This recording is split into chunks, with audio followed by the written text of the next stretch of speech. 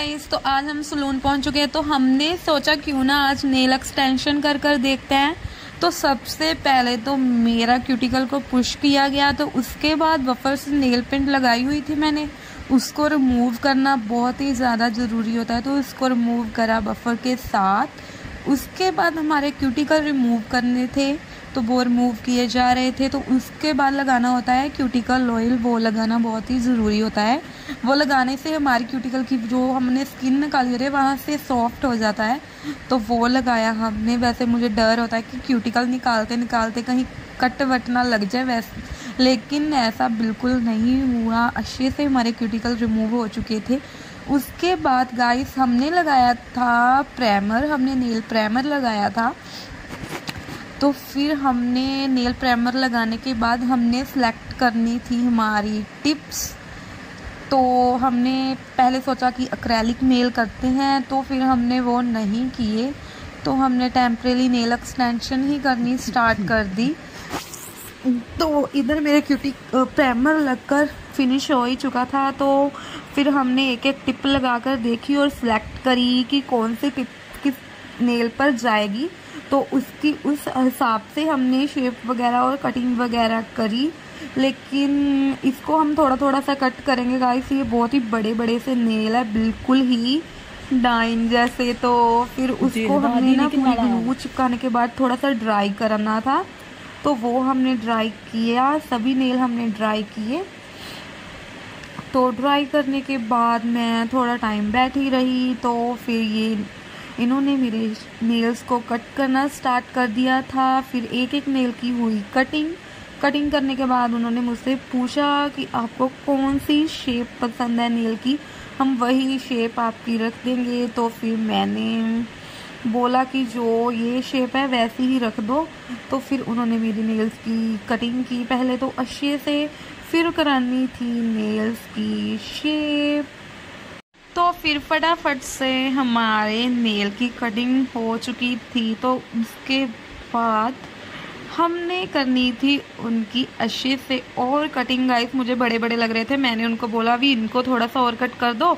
तो उसके बाद उन्होंने करनी स्टार्ट कर दी थी उनकी शाइन रिमूव उसकी शेप वगैरह बनाकर। फिर डस्ट ऑफ़ करा, अच्छे से हमको डस्ट ऑफ़ तो अच्छे से करना है। फिर हमने कलर सेलेक्ट किया, ये पर्पल कलर मुझे अच्छा लगा। तो मैंने बोला, यही लगा दो, ये कलर वैसे भी मैंने कभी नहीं लगाया था तो हमने नेल पेंट लगानी स्टार्ट करी गाइस ये पहली बार मैंने जेल पॉलिश लगवाई थी, वैसे तो मैं ऐसे ही नेल पेंट लगाती हूँ। तो फिर हमने नेल पेंट लगानी स्टार्ट की, पूरे अच्छे और सॉफ्ट तरीके से हमने नेल पेंट लगाई, कोई पोचो वाला काम नहीं किया तो फिर हमने उसको करना था पूरे अच्छे तरीके से ड्राई फिर हमने थर्टी सेकेंड लगा दिए थे, उसको ड्राई होने दिया। तो मैं करी थी इधर वेट तो उसके बाद हमने सोचा क्यों ना कोई आर्ट वगैरह करते हैं। तो उसलिए मैंने एक फिंगर पर ग्लिटर लगाने के लिए कहा तो उन्होंने ग्लिटर लगा दी। वो अच्छी लग रही थी ग्लिटर तो मैंने बोला कि क्यों ना हम दूसरी फिंगरों पर छोटे छोटे से हार्ट बना लेते हैं। तो फिर हमने हार्ट बनाने का सोचा तो हमने हार्ट बनाने स्टार्ट कर दिए। मैंने बोला कि सिंपल सोबर सा हम नेल आर्ट करेंगे। तो हमने बाकी फिंगर्स पर हार्ट बनाए और एक पर लगाया ग्लिटर हार्ट भी हमारे बहुत ही अच्छे और सुंदर से बने थे गाइस तो उसके बाद हमारा नेल आर्ट कंप्लीट होने ही वाला था। तो हमसे हुई एक गड़बड़। हमारा हार्ट ना एक ख़राब हो गया, लेकिन उसकी मैंने वीडियो नहीं बनाई तो फिर हमने उसको क्लीन किया अच्छे से। फिर उसको दोबारा बनाया।